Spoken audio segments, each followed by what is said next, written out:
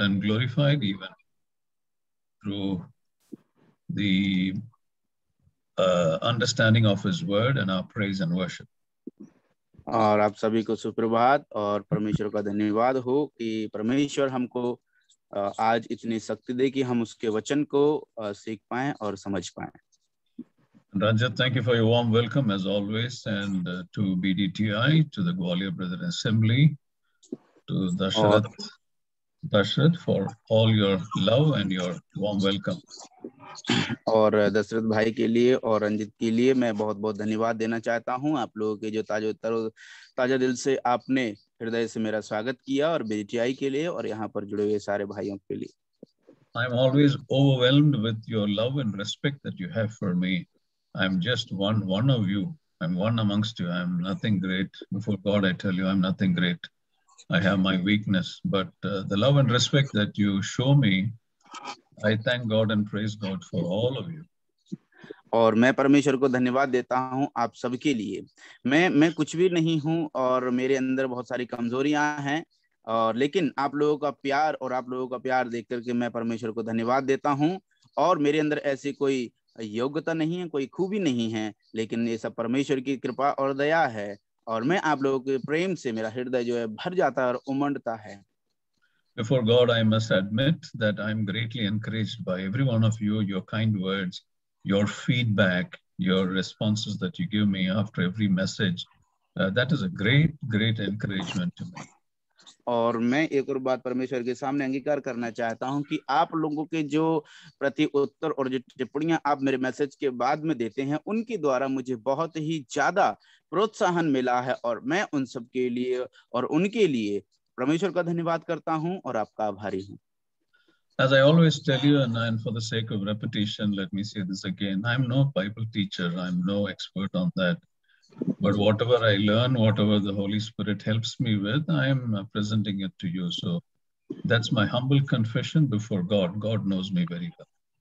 और नम्रता के साथ में एक बात को और अंगीकार करना चाहता हूँ और जिसको मैं आ, हम, हमेशा करता हूँ कि मैं बाइबल का एक शिक्षक नहीं हूँ और वो वो मेरे अंदर कदापि योग्यता नहीं है और मैं उस पर इतना ज़्यादा जानता भी नहीं लेकिन इस बात को मैं परमेश्वर के सामने अंगीकार करता हूँ लेकिन जो कुछ भी आज मैं कर रहा हूँ वो परमेश्वर की कृपा है और परमेश्वर मुझे और मेरी अवस्था को जानते हैं Deepu, you're looking very smart and handsome today. Thank you so much. I like your t-shirt. All right, okay. Now let's go on to studying from the expedition of uh, the children of Israel. और आइए हम लोग चलिए अपने अध्ययन को जारी रखेंगे और हम लोग अब इसराइलियों के मरु यात्रा पर अपना अध्ययन को आगे बढ़ाएँगे Um, I hope you remember last time I I said we will do something today. और जैसे कि मैंने पिछली बार आशा करता हूँ कि आप सभी लोगों को स्मरण होगा याद होगा कि पिछली क्लास में मैंने बोला था कि आज की क्लास में हम लोग कुछ विशेष करने के लिए जाएँगे क्लास में जाने से पहले So do you remember what I said last week or you conveniently forgot? क्या आप में से ए, किसी को याद है क्या मैंने कहा था या फिर जानते हुए भी आप लोग इसको भूल गए Who remembers what I said last week? Said we will do it today. आप में से कोई है जो याद है जिसको कि अपन ने क्या कहा था पिछली बार जो आज हम करने के लिए जा रहे हैं You just have We to will see recap. this. We will We'll recap. Correct. We'll, yeah. We will do.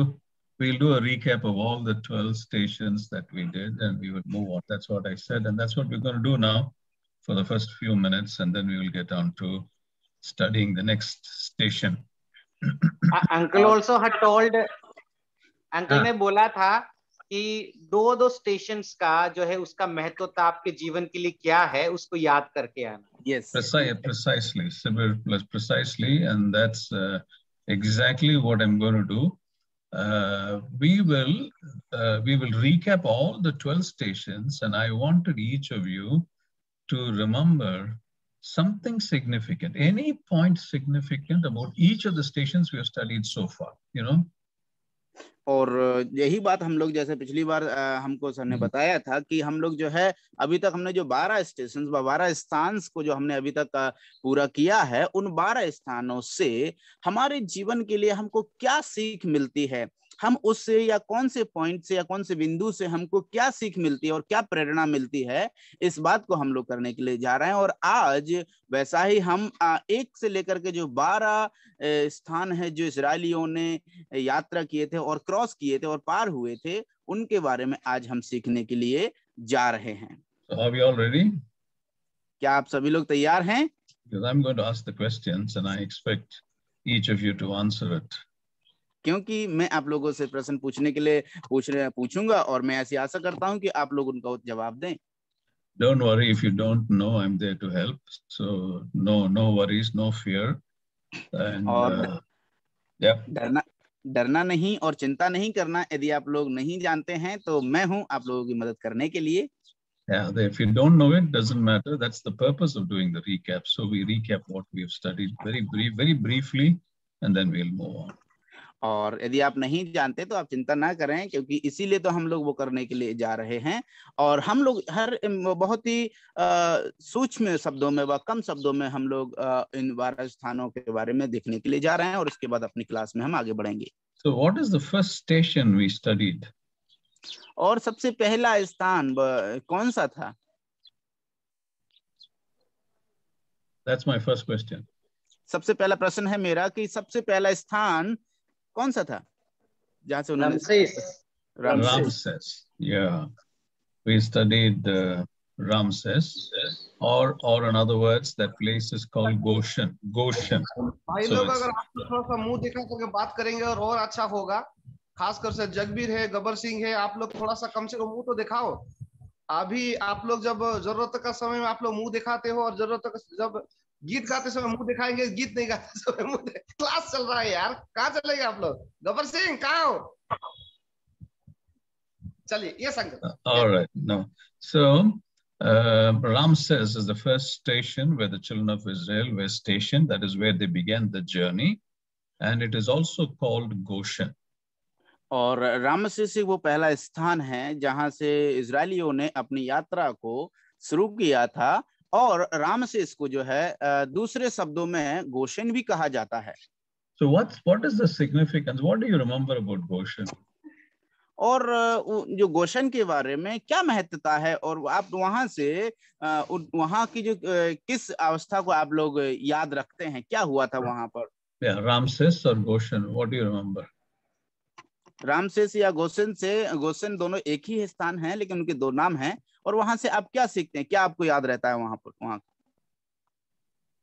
कोई बता सकते हैं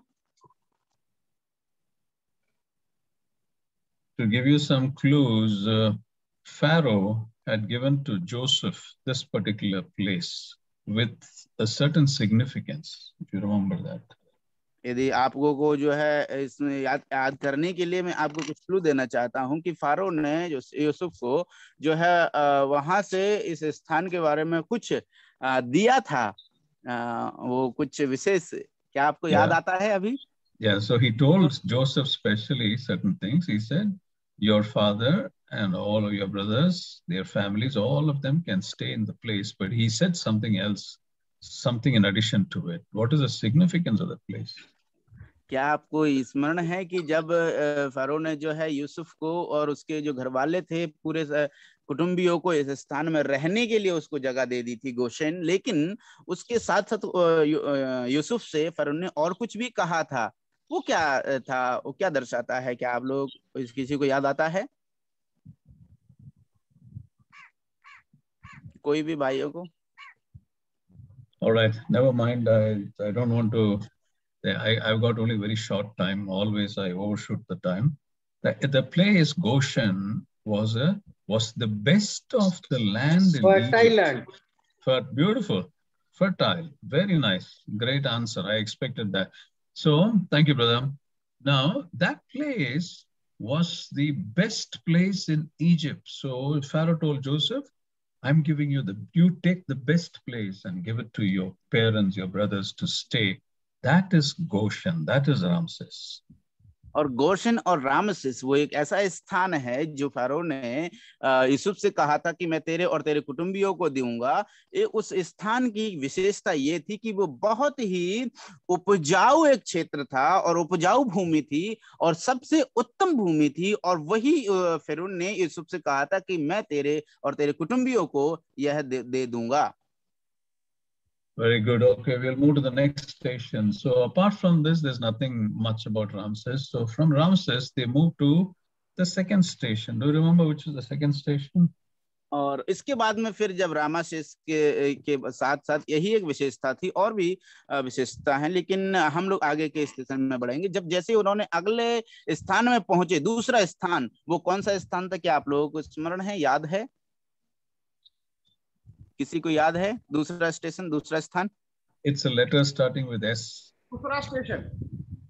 भाइयों जल्दी जल्दी जवाब दीजिए ताकि अपना टाइम बच जाएगा।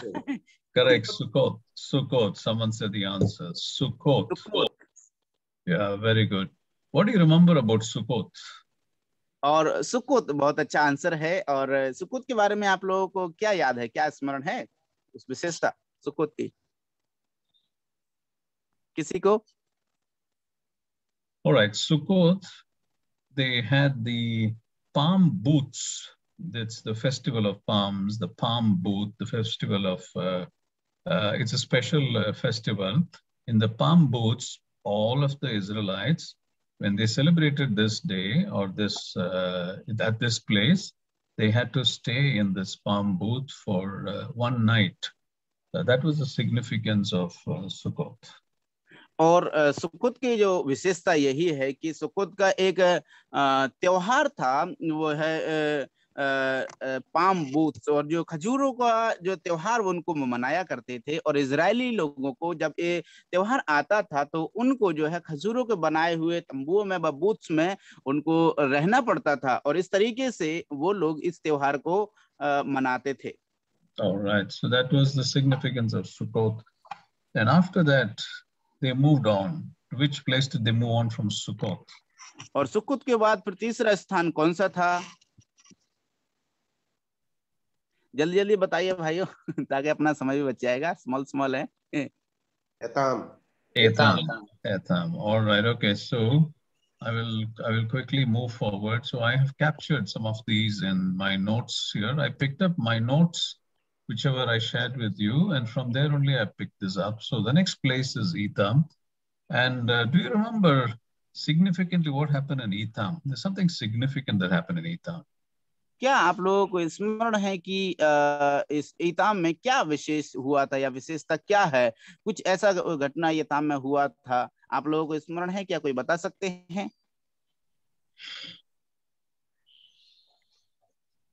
All right. Now at Etham, what happened is the children of Israel, they went back because they were traveling from Ramses. They went to Sukkot. But at Etham, when they, Etham, how they reached Etham is they backtracked their place and came, which means they returned and came to Etham. There was no progression, there was a digression, which means they were going backwards. और यहाँ पर एथाम में जो एक विशेष घटना यही होती है कि वो राम से सुकोत से वो क्या करते हैं यात्रा करके वो वहाँ से आगे को नहीं जा पाए वरन वो वापस आए उनका जो आगे को बढ़ते चले जा रहे थे वो आगे नहीं बढ़ पाए वरन वहाँ से वापस आकर के फिर वो एथाम में आते हैं All right, and there, I spent significant time on this, and I, I, I, and I remember recall. I think everyone liked that part of uh, Etham. You were able to connect with that. Uh, why did God do that? We, we studied this. Why did God do that? Why did God backtrack? They go behind and come to this place, Etham. Why?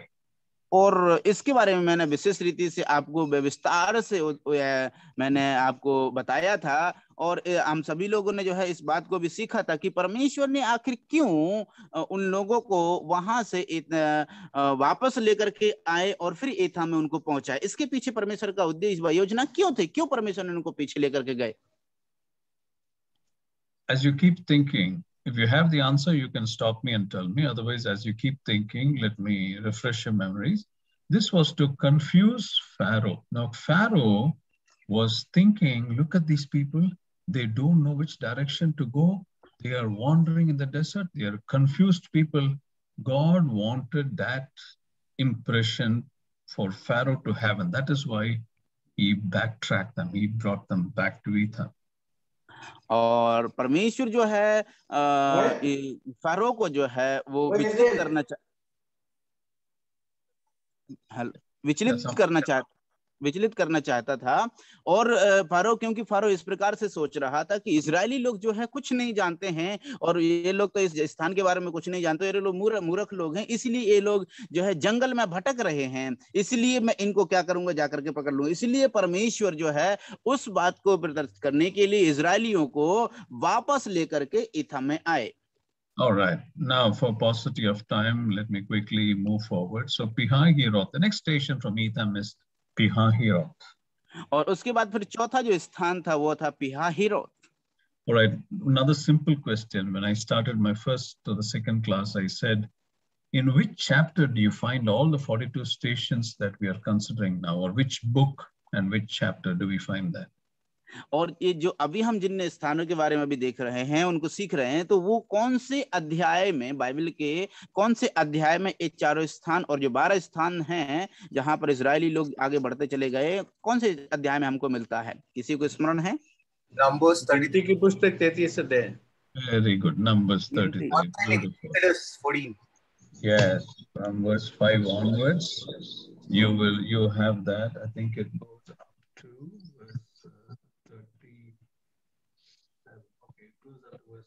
8.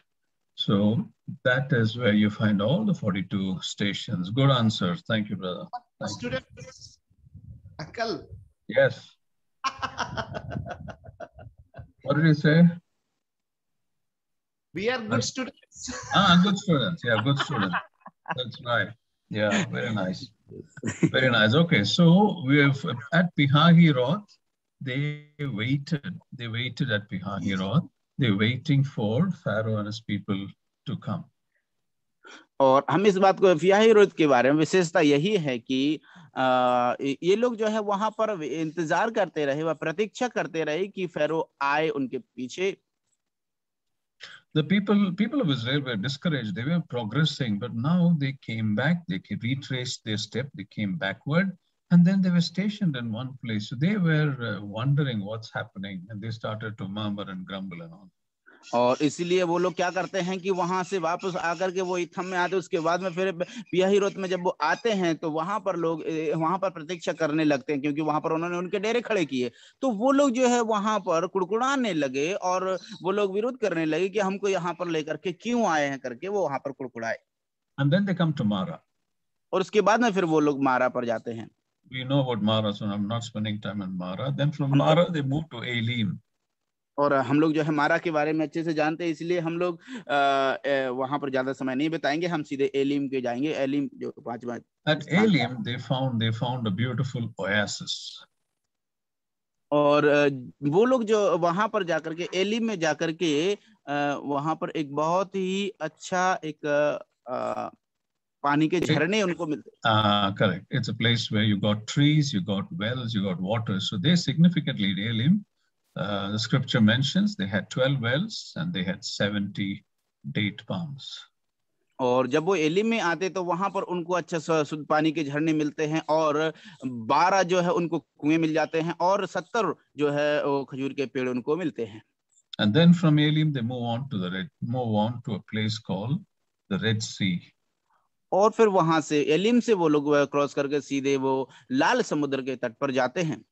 And then then from there they cross the Red Sea and they come to this wilderness of Sin और उसके बाद फिर वो लोग जो है आ, वहाँ से आ, लाल समुद्र को पार करने के बाद में वो सीने के जंगल में आते हैं।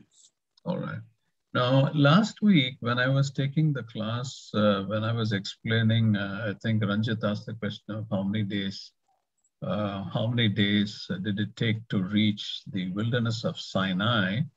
Then at the time I mentioned something about the Red Sea. What do you Or, remember uh, about what I mentioned?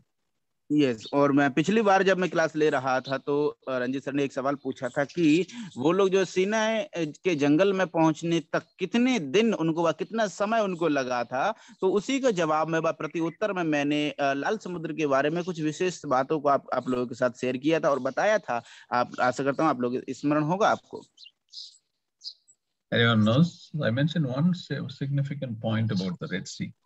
और लाल समुद्र के बारे में मैंने आप लोगों को एक विशेष एक बिंदु व एक मुख्य बात जो आपको बताई थी आ, क्या आपको याद है किसी को भी kindle kindle your memories and tell me what that is अपनी याददाश्त को जगाओ और बताओ वो क्या था no I mentioned about the I mentioned about the length of uh, the the travel. It was uh, some say 16, some say 19 kilometers uh, it was the distance of the Red Sea. और मैंने उस time समय पर आप लोगों को बताया था कि कुछ लोग कहते हैं कि साठ और कुछ लोग कहते हैं नब्बे किलोमीटर का और वही जो लंबाई no, 16, है no no Deepak Deepu it is 16 16 और 19 kilometers is the yes. length of the the traveled in the bed of the Red Sea the distance was about 16 or 19 kilometers okay okay.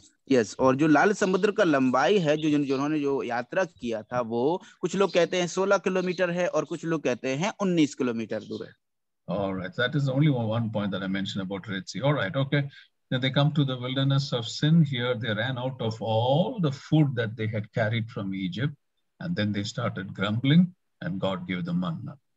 और हम इस बात को देखते हैं कि जब वो सिनाई के जंगल में आते हैं तो वहाँ पर उनका जो मिस्र देश से जो खाना वो लेकर के आए थे भोजन वस्तु वो खत्म हो गई और उसके बाद फिर वो कुड़कुड़ाने लगे और चिल्लाने लगे। तब परमेश्वर ने उन्हें स्वर्ग से मन्ना खिलाया। And then they moved on from the wilderness of sin, they moved on to Dofka.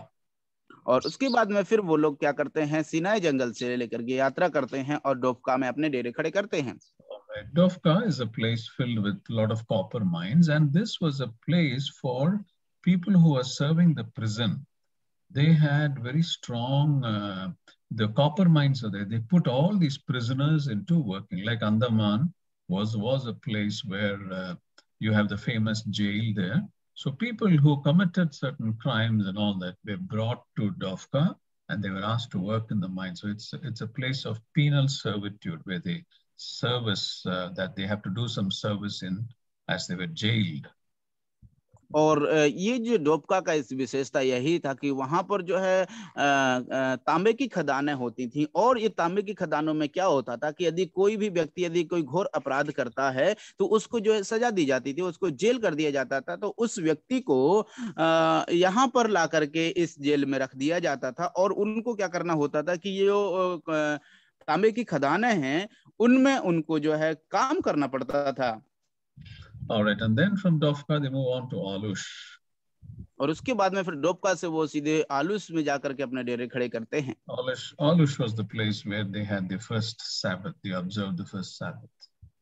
और आ, जो है एक ऐसा स्थान है जहाँ पर उन्होंने पहला सबत दिन को मनाया। And then from Alush they moved on to Rephidim और फिर आलूस से वो लोग सीधे रेफिदिम में जाते हैं And from Ref, at Rephidim, what happens once again? They didn't find water. They started grumbling. They wanted to stone Moses to death. और वो लोग यहाँ पर जब रफीदिम में आते हैं तो वहाँ पर भी उनको पानी नहीं मिलता फिर वो लोग कुड़कुड़ाते हैं चिल्लाने लगते हैं और यहाँ तक कि वो मूसा को जो है पतरवा करने के लिए तत्पर हो गए And then God gave them water from the rocks. लेकिन फिर हम देखते हैं कि परमेश्वर ने उनको जो है उस चट्टान से पानी पिलाया then from there they came to the wilderness of Sinai. और उसके बाद में फिर वो लोग जाकर के सीनाई के जंगल में वो फिर से आते हैं One question to all of you is wilderness of sin and wilderness of Sinai same or they different? और आप सभी लोगों के लिए एक प्रश्न है मेरा। क्या जो सिनका जो जंगल है और जो सीना का जंगल है दोनों एक ही हैं या अलग अलग हैं? दोनों एक ही है।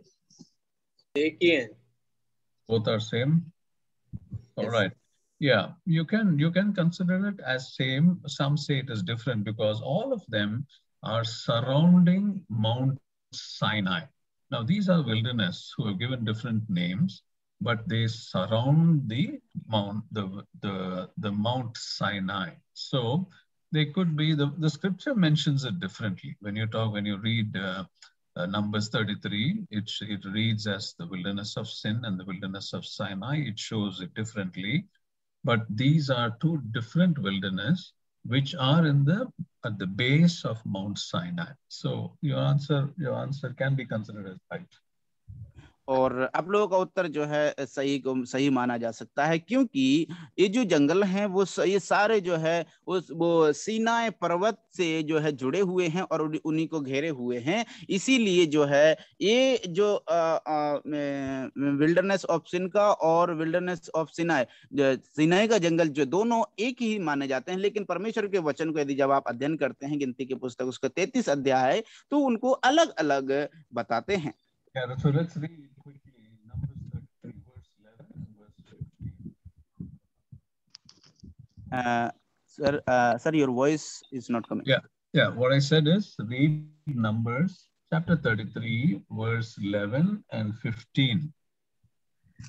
चलिए हम लोग पढ़ लेते हैं गिनती की पुस्तक उसका तैतीस अध्याय ग्यारह और पंद्रह और लाल समुद्र से कूच करके सीन नामक जंगल में डेरे खड़े किए फिर उन्होंने रफीदिम से कूच करके सीने के जंगल में डेले डाले All right, so the scripture shows it at two different stations. और यहाँ पर परमेश्वर का वचन जो है दो भिन्न व अलग अलग स्थानों को यहाँ पर दिखा रहे हैं But there are some commentators and some archaeologists, they say that both are the same and all that. We will not get into that because it's insignificant. There's nothing very doctrinally wrong and all that stuff. So we don't really worry about that. The scripture shows it at two different uh, stations, wilderness of sin and wilderness of Sinai. But remember this, both of these wilderness, they come under the, they come close to Mount Sinai. Around Mount Sinai, you have all the, you have these deserts. और हम इस बात को जो है परमेश्वर का वचन हमें क्लियर साफ़ रीति से बताता है। इसीलिए बहुत कुछ लोग जो है, जो कुछ विद्वान लोग बाइबल के जो स्कॉलर्स हैं या फिर कमेंटेटर्स, वो लोग इस प्रकार से बताते हैं कि दोनों जो है स्थान वो एक ही हैं, लेकिन परमेश्वर का वचन हमें साफ़ रीति से बताता है कि सीन नामक जंगल और सीन नामक जंगल जो है, ये दोनों जो है अलग अलग हैं। लेकिन इस बात को स्मरण रखने की योग हमारे लिए ज़रूरी है कि ये दोनों जो है, वो है जो सीन पर्वत के जो है आसपास और सीने पर्वत के ही पास में ये बहुत ही क्लोज माने जाते हैं इसलिए हमको ये बात इसमें रख ली है और इसमें कोई भी ऐसा सैद्धांतिक गलतियाँ नहीं है इसलिए हमको उसके बारे में चिंतन नहीं करना है All right, thank you, thank you, Dipu. All right, so brothers and sisters, that is that is the first group of uh, recap up to the wilderness of Sinai. We complete our recap so far. और अभी तक जो है हम सिनाई के जंगल तक हम हमारा जो है वो रिकेप था और जो हम अपना स्मरण कर रहे थे उसको वो हमारा पूरा होता है और अभी हम लोग आगे को बढ़ते जाएँगे right, after we finish the next 12 stations, we'll do a recap again. और जब हम आ, फिर पहले पिछले फिर बारह स्टेशन को यदि हम कंप्लीट करेंगे उसके बाद में फिर हम फिर से आ, आगे के बारे में फिर रिकैप करेंगे All right, now let me let's go to our study. चलिए आज के अध्ययन में हम लोग अब आगे बढ़ते हैं All right, we're going to the next station now uh, in our uh, the study that we have been doing. और आज के अध्ययन में जिसमें हम जिसको हम करने के लिए जा रहे हैं और उसमें हम अगले स्थान के बारे में आज हम अध्ययन करेंगे All right, we last time considered Kibroth Hatawa. और पिछली क्लास में हमने जो है किब्रोत हटावा के बारे में अध्ययन किया था What is the meaning of Kibroth Hatawa? किब्रोत हटावा का मतलब क्या है Graves of gluttony. Graves of gluttony. That is right. Very nice. Graves of gluttony. So that is the meaning of Kibroth Hatawa. और किब्रोत हटावा का अर्थ यही है उसका किब्रोत हटावा नाम शब्द का अर्थ यह है कि वो पेटुओं की कब्रिस्तान Why is it called Kibroth Hatawa? That place. किब्रोत हटावा उसको क्यों कहा जाता है Because they craved for meat. They craved for flesh. And so they started thinking about Egypt. And then God gave them the quails. And as they were eating, God killed many of them and they were buried outside Kibroth Hatava. That is why that place is called Kibroth Hatava or the gluttony, the graves of gluttony. और इस बात को आप लोग स्मरण रखना, याद रखना कि ये जो स्थान, किब्रोत हटावा इस स्थान को क्यों कहा जाता है? इसीलिए क्योंकि इसराइली लोगों ने जब वहाँ पर डेरे खड़े किए थे तो वो लोग क्या करते थे कि उन्होंने मांस के खाने के लिए उन्होंने परमेश्वर से मांग किया और वो मिस्र देश के उन स्थानों को, जगहों को, दिनों को वो स्मरण करने लगे और परमेश्वर ने उनको जो है उसी समय बटेरें दी और बटेरों को उन्होंने खा करके वो तृप्त हो गए और उसी समय हम देखते हैं कि बहुत सारे लोगों को परमेश्वर ने मारा और उनको वहीं पर दफनाया गया था इसीलिए उस स्थान का नाम जो है किब्रोत हटावा पड़ा मतलब वो पेटुओं का कब्रिस्तान पड़ गया As much as you remember Ramses, as much as you remember uh, Elim, as much as you remember uh, uh, Mara, you should also remember Kibroth Hatava because it's very important. जितना आप जो है Ramesses को एलिम को और और किब्रोत हटावा को जो है स्मरण करते हैं इन सब में से आपको किब्रोत हटावा को भी एक विशेषता के साथ में इसको याद रखना और स्मरण रखें। प्रयास tip of your finger similarly should be और जब यदि मैं आपसे जो है कि मारा के बारे में पूछता हूँ तो मारा का, का जो आपका जवाब होगा वो आपकी उंगली के बिल्कुल टोन पर ही होगा और आप उसको तुरंत ही जवाब दे देंगे। उसी प्रकार से किब्रोत हटावा भी होना चाहिए।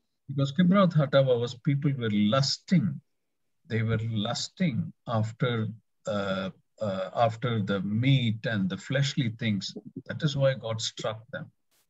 और क्योंकि किब्रोत हटाबा में लोगों ने क्या किया कि वो लोग जो है लोग जो है उस मांस की अभिलाषा करने लगे और उस अभिलाषा के कारण वो लोग बहुत ही जो है विरोध करने लगे। इसलिए परमेश्वर ने उनको जो है वहाँ पर उन बटेरों को दिया उनको खाने के लिए। Remember the temptation of the Lord Jesus Christ when he went into the wilderness. यीशु मसीह के उस परीक्षा को वो प्रलोभन को देखें जब उन परीक्षा हुई थी कि वो उनको जंगल में लेकर के गए थे। There were three three types of three kind three different kinds of temptation he faced और वहाँ पर जंगल में उन्होंने तीन अलग अलग प्रकार के उन परीक्षाओं को और प्रलोभन को उन्होंने उनका सामना किया then he came out victorious over all these temptations और बड़े ही विजय के साथ में जीतते हुए वो इन तीनों प्रलोभन से वो पार हो गए उनको जीत and in all these three temptations he quoted the verse he quoted the, the bible the bible verses और इन तीनों प्रलोभन में परीक्षाओं में प्रभु यीशु मसीह ने परमेश्वर के वचन, पवित्र शास्त्र, बाइबल के वचन को ही उन्होंने लिया और वचन से उसका जवाब दिया। So brothers and sisters when we face the temptations of this world may the Holy Spirit help us to remember God's verses Bible verses so using that we can chase away Satan मेरे प्यारो, जब हमारे जीवन में प्रलोभन आते हैं, परीक्षाएँ आती हैं तो परमेश्वर हमारी सहायता करे कि परमेश्वर के वचन से हम उसका सामना करें, परमेश्वर के वचन से हम उसका जवाब दें और शैतान को इसी रीति से हम उसको हरा पाएँगे और उसको भगा पाएँगे और हम जीत पाएँगे। In the Psalms we find this word, I've hid thy word in my heart so that I may not sin against thee. और इस बात को हम लोग भजन भजनकार भजन संहिता में पढ़ते हैं और भजनकार इस प्रकार से कहता है कि मैंने तेरे वचन को अपने हृदय में रखा है इससे कि मैं तेरे विरुद्ध कोई पाप ना करूँ And so when we have the word with us, it's very difficult to sin.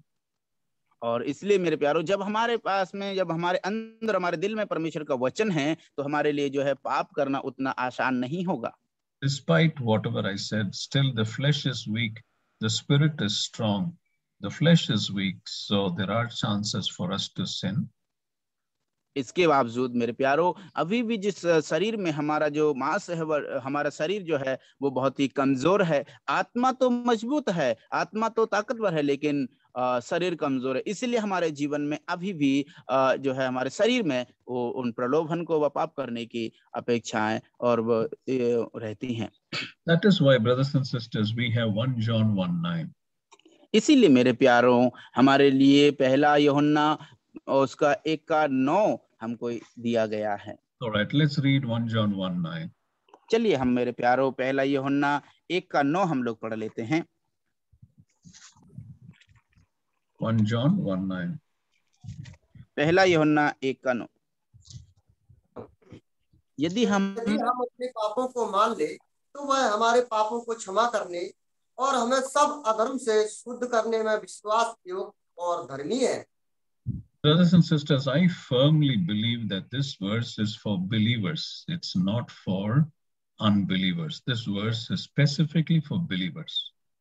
और मेरे प्यारो भाइयों बहनों मैं इस बात को बड़ी ही दृढ़ता के साथ में सुनिश्चितता के साथ में ऐसा विश्वास करता हूँ कि ये वाला वचन जो है वो वचन अविश्वासियों के लिए नहीं वरन विश्वासियों के लिए ही है Because when you see the tabernacle, when you enter the tabernacle, the first as you enter in the outside courtyard, you have the uh, uh, you have the altar of br- brass. और अ, क्योंकि जब आप जो है तंबू में प्रवेश करते हैं या करेंगे तो वहाँ पर उस तंबू में प्रवेश करने से पहले अ, अ, अ, वहाँ पर अ, उसके बाहर Yes, it's called the brazen laver, which is it's a brazen vessel filled with water. और वहां पर एक जो है पीतल का एक एक एक ऐसा बड़ा एक हौज बना हुआ था जिसमें वो पानी भरा रहता था So it's in the outside. So the first thing that you meet there, in as you enter the wilderness or the or as you enter the tabernacle, the first you meet there is the brazen laver filled with water. That's the first thing you see. और जब आप उसमें प्रवेश करने से पहले तंबू में प्रवेश करने से पहले आप क्या देखोगे कि वहाँ पर एक पीतल का एक बहुत बड़ा एक हौज टाइप का बना हुआ है और वो पानी से भरा हुआ है, उसमें प्रवेश करने से पहले आप उसको देखेंगे what do the people do when they bring an offering? The first thing they do is they wash their hands and their feet with that water. और सबसे पहले जब वो लोग बलिदान लेकर के आते थे तंबू में तो वो लोग क्या करते थे वहाँ पर आने से पहले उस पीतल के उस हौज में से वो क्या करते थे अपने हाथों को और अपने पावों को पहले धोते थे Yeah, washing the washing by water means you purify it. Similarly, 1 John 1 9 is that brazen laver of water for every believer because we live in a sinful world. We live in a in a body of sin. And what we see is so sinful. You turn this side, that side, you see sinful. So it is very difficult to live a life without sinning. And that is why we have 1 John 1 9 every day.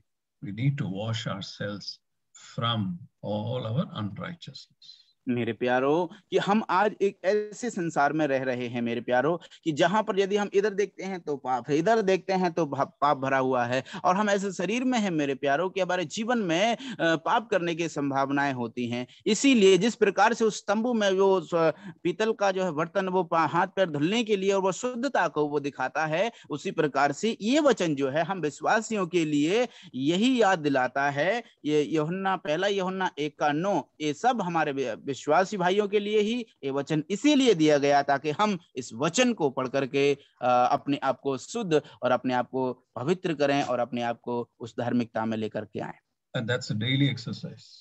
और ये प्रतिदिन के एक व्यायाम होना चाहिए All right. So Kibroth Hatava will remind us of all these things. That's why I spent a little time on that. और किब्रोत हटाबा जो है इन सब बातों के बारे में हमको याद दिलाते हैं इसलिए किब्रोत हटाबा पर मैंने इतना और थोड़ा सा और समय ले लिया right. So from Kibroth Kibroth we move to the next station, which is Hazaroth. और किब्रोत हटाबा के बाद में हम फिर सीधे जैसे ही आगे बढ़ते हैं तो वो अगला स्थान है हाजिरोत नामक स्थान All right. The meaning of this word Hazaroth means villages, or it is courts, or it is yards. Yards are big open space. और ये जो ये, ये जब हज, हजीरोत में जब वो लोग आते हैं तो हजीरोत नामक शब्द का मतलब यही होता है कि वहाँ पर जो है एक एक गाँव टाइप का एक कोर्ट टाइप का जो है एक बहुत बड़ा एक कोर्ट टाइप का ऐसा ओपन स्पेस उनको मिल जाता है All right. You will find that in, uh, let's read Numbers 1135. और चलिए हम इस बार इसको इसके बारे में और हासिरोत के बारे में हम लोग पढ़ लेते हैं। गिनती की पुस्तक उसका ग्यारह अध्याय और उसका पैंतीसवीं आयत को हम लोग पढ़ लेते हैं।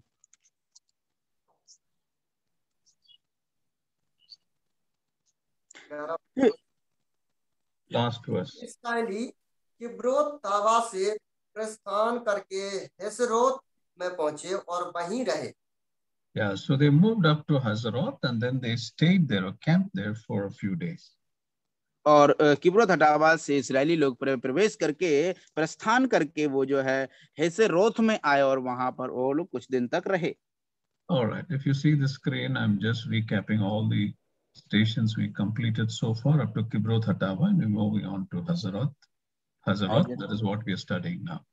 और जैसे कि आप देख पा रहे होंगे मैं स्क्रीन में आप लोगों को वही फिर से ले रहा हूँ जितने स्टेशन जितने स्थान हमने अभी तक क्रॉस किए ताकि आपको स्मरण हो जाए right. Yeah, the next screen that you see is on the map also. I plotted it. And so at every station, I show you where it is.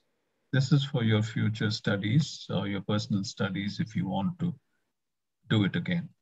और यदि आप जो है मैंने आपको इसलिए दिखाया है ये आपके पर्सनल अध्ययन के लिए और यदि आप इसको और गहरी से अध्ययन करना चाहते हैं तो आपके लिए मददगार होगा इसीलिए मैंने फिर से स्लाइड आपको दिखाया right. This this place Hazarat is in the northeast, is about 40 miles northeast of Mount Sinai.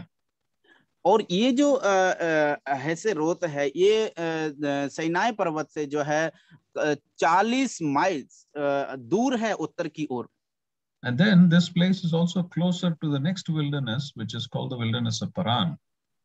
और ये जो केवल इतना ही नहीं बना हैसेरोत एक ऐसा स्थान है जो एक पारान जंगल से भी बहुत नज़दीक है Now, Hazarat is a beautiful place because it is surrounded by valleys. और हैसरत जो है एक बहुत ही सुंदर अति सुंदर स्थान है क्योंकि वहाँ पर बहुत सारी झीलें हमको देखने को मिलती हैं Now, now uh, also Hazaroth is a beautiful place because of the lot of springs of water are there. So it makes this another place where you have uh, the oasis. और केवल इतना ही नहीं वरन ये स्थान जो है इस स्थान में हैसेरोत में बहुत सारे उनको झरने मिलते हैं और बहुत ही सुंदर पानी उनको वहाँ पर मिलता है और इसलिए ये भी जगह उनको एक और एक एक और स्थान जो है जहाँ पर उनको बहुत ही सुंदर पानी उनको मिल जाता है What is the previous place that we studied just now, which has got 12 palms? It was an oasis. It's got 12 palms and 70, it's got 12 wells and 70 palms. Which is that place? और अभी हमने पिछली बार जो पिछले अभी अभी हमने कौन सा स्थान जहाँ पर हमने देखा था वहाँ पर झरने थे और बारह उनके कुएँ और चालीस उधर में जो सत्तर सत्तर उनको ियस place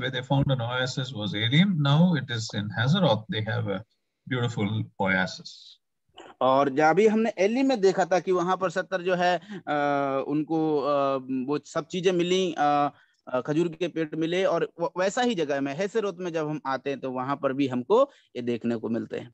Wherever, wherever you find the oasis, the people of Israel used to camp there? Because they rejuvenated. They got the strength for themselves from the water, from the trees and the fruits uh, to refresh themselves, to rejuvenate their bodies so that they are physically prepared for them for moving ahead. और जहाँ जहाँ Israeli लोगों को जो है अच्छा पानी मिलता था और अच्छे जो है वहाँ पर पेड़ पौधे और बगीचे टाइप के मिलते थे, वहाँ पर वो लोग क्या करते थे इजरायली लोग वहाँ पर डेरे डालते थे ताकि वो अपने आप को रिफ्रेश करें, तंदुरुस्त करें और पेड़ों से और अच्छे पानी से उनको तंदुरुस्ती मिलती थी I captured some pictures showing some nice valleys. So the next picture shows you a kind of a valley. Imagine, this is the kind of place the children of Israel must have found in Hazaroth an alien. That's why they stayed there for some time. Then they refreshed themselves. They got good rest. They got good water. They got good uh, uh, natural uh, food, and then they moved on from there. और ये वाले चित्र जो है मैंने अ, अ, internet से पाया है और ये वाला चित्र मैं आप लोगों को दिखा रहा हूँ क्योंकि ये ऐसा स्थान है जहाँ पर इजरायली लोग ने ये ये वो हैजरत की वादी है जहाँ पर ये इजरायली लोग यात्रा अ, ये और विश्राम को सर आपका आवाज़ आ रहा है yeah yeah this is this is the wonderful place uh, uh, uncle can you please take this one little more time All right. Yeah, whatever yes. I have, I'll, I'll share it with you. Okay. Yes okay और ये वही वाद, वादी है जहाँ पर Israeli लोगों को प्राकृतिक पानी मिला फल मिले और वहाँ पर उन्होंने बहुत अच्छे से विश्राम किया हैसरत नामक वादी में उन्होंने जब डेरे डाले तब Yeah, now this is another picture of showing you a valley. You see, you see the mountains on the stop on the sides. Now between two mountains, there is a deep uh, place that's called the valley. And you see here, it is quite green. There's a water, there's springs. We read uh, the springs of water. They make it look very nourished and enriched. You see that? और जैसे कि आप जो है इस वादी को आप देख सकते हैं ये वादी क्या होती है? ये दोनों इस तरफ़ इस तरफ़ जब पहाड़ होते हैं और उसके बीच में एक ऐसे स्थान मिलता है और जहाँ पर इसको वहाँ पर पानी के झरने होते हैं पानी भरा हुआ होता है ऐसे स्थान को जो है हम वादी कहते हैं और जो चारों चार, चारों तरफ़ इधर उधर पहाड़ रहते हैं और वही उसकी सुंदरता को बढ़ा देते हैं। That is why we read, in Numbers 11:35. They for some time. when they came to Hazeroth. yes sir your, your voice was breaking actually and i didn't get that Breaking. Okay, now what I said is I'm sorry. All right, now I hope you can hear me now. That's why I said in Numbers 11:35, the last verse we read, that when they came to Hazeroth, they stayed there or camped there for a few days. और जैसे कि मैंने आपको पहले ही बताया था कि giddy की पुस्तक उसका ग्यारह अध्याय पैंतीसवीं आयत में हमने यही पढ़ा था कि वो लोग जो है वहाँ से किब्रुत हटाबाद से आकर के सीधे हेसरुत नामक वादी में आकर के वो अपने डेरे खड़े करते हैं और वहाँ पर वो कुछ समय कुछ दिन वहाँ पर बिताते हैं All right. Now, this place, a little more information about this place is this is uh, a place because it's filled with valleys, it is surrounded and it is beautifully covered like a fort. और जैसे कि मैं आपको बता रहा हूँ कि यहाँ पर ये जो वादी है हैसरत वादी जो है बहुत ही सुंदर है अति सुंदर इसलिए हो जाती है क्योंकि ये चारों ओर से जो है पर्वतों से घिरी हुई है और वहाँ पर एक प्राकृतिक पानी और फ़ूड और पेड़ पौधे फल उनको बहुत अच्छे से मिलते हैं Now this place Hazaroth was uh, surrounded by a low wall made out of stones like the picture that you see there on the screen. और आप जैसे कि यहाँ पर देख पा रहे होंगे कि वहाँ एक ऐसा स्थान है जो एक ऐसे पत्थरों से जो है वो घिरा हुआ था जैसे कि आप यहाँ पर चित्र में देख पा रहे होंगे Now, not only that, these walls, if you see, you see those plants and those little kinds of shrub which is embedded there, which is growing on the walls. They are the acacia, acacia bushes or the acacia trees, as we call it in the, in the Bible.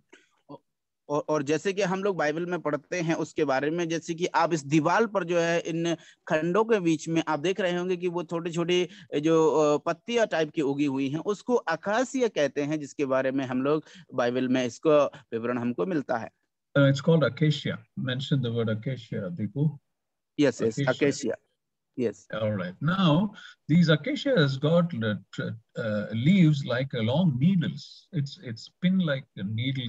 pin-like, uh, uh, um, what is that, leaves they call it.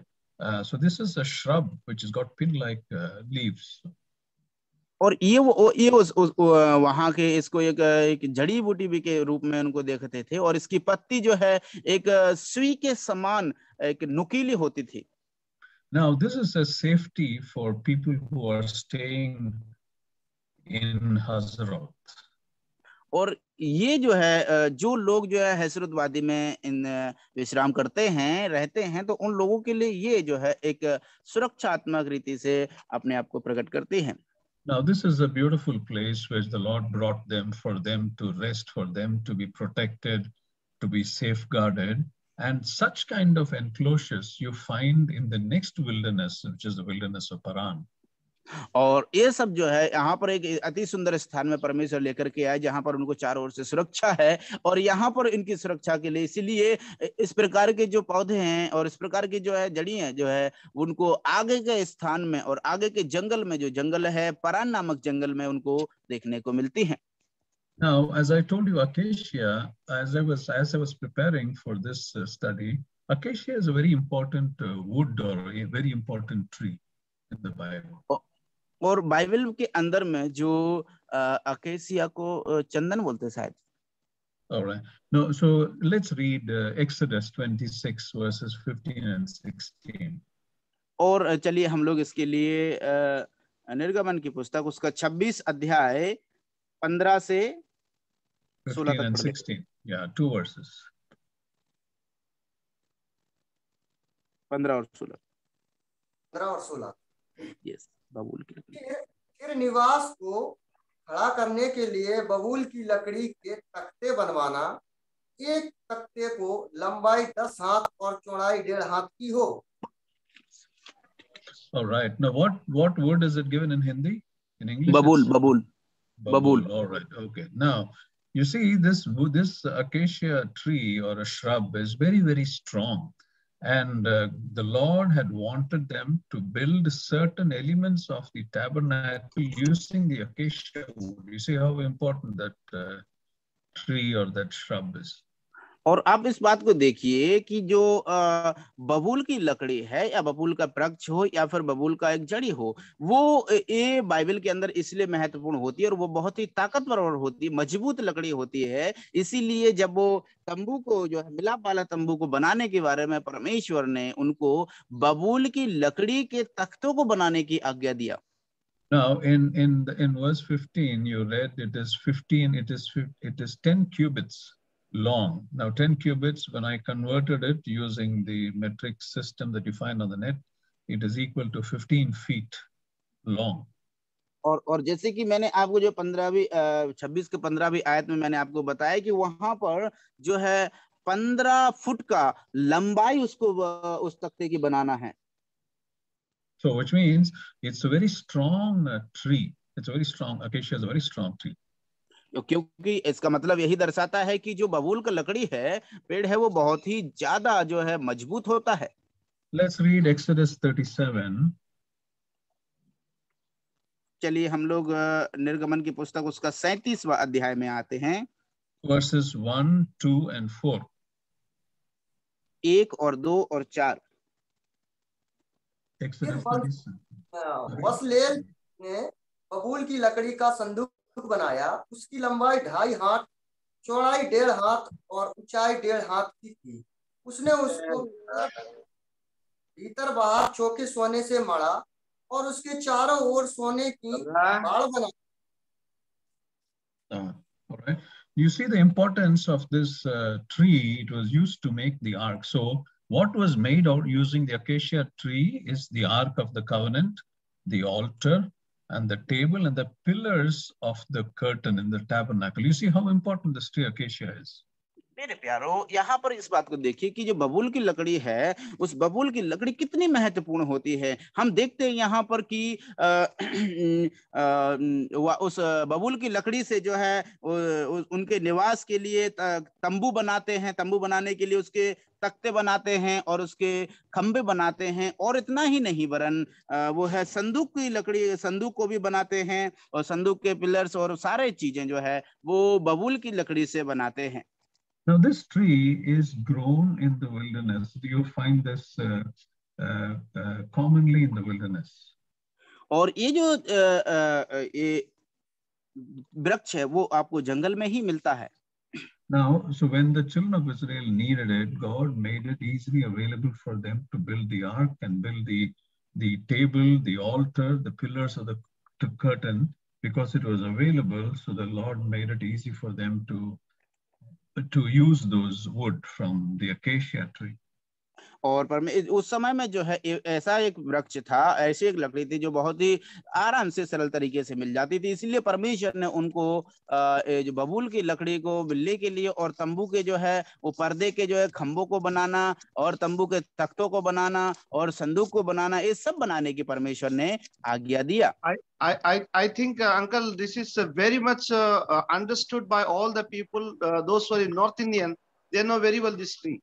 All right, okay, okay. The babul tree, huh? the acacia yes. tree. Yeah, babul tree is very much available this part of North India. हमारा side में ये बहुत बहुत बहुत मिलता है. इसको. अपनी अपनी भाषा में बमूर बोलते हैं बमूर. हाँ. So there's a picture in the net which I captured. So that's the one that you see on the right hand side bottom here. That's the picture of this acacia tree. और जो बबूल का वृक्ष का जो चित्र आपको दिख रहा होगा स्लाइड में All right. Okay. Now we have seen this. I'm not doing. All right. Now, question to all of you. This place, Hazaroth, is also important for something else, very important for something else. मेरे प्यारो आ, सभी भाइयों बहनों के लिए मेरा एक प्रश्न है यहाँ पर आ, कि ये जो हैसरुत का स्थान है ये स्थान जो है बहुत ही बहुत ही महत्वपूर्ण है मेरे प्यारो All right.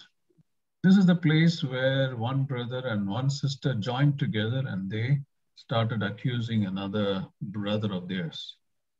और ये एक ऐसा स्थान है मेरे प्यारो जहाँ पर एक भाई और एक बहन जुड़ करके मिल जा मिल करके वो अपने एक खुद के भाई को जो है विरोध करने लगते हैं right. Yes. Miriam and Aaron spoke against Moses. Moses. Yeah. So in Hazeroth, an important thing which happened is um, Miriam and Aaron joined together and questioned Moses and said that only, only can God speak only to you and not to us? Who are you to become the oracle of God? Is the questions which Miriam, uh, supported by Aaron, asked uh, Moses.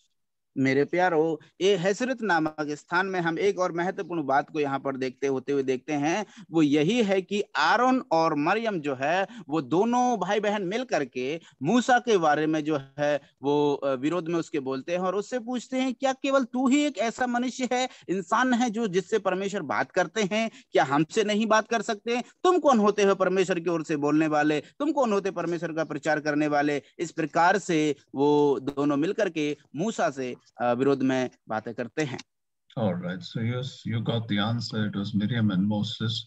So you'll find that uh, you'll find that in the references that I have. Numbers 12, 1 to 16. That's just for your future reference. So you can read that. You'll find that incident. But that's a very important incident, very important event that happened for us as believers to keep in mind.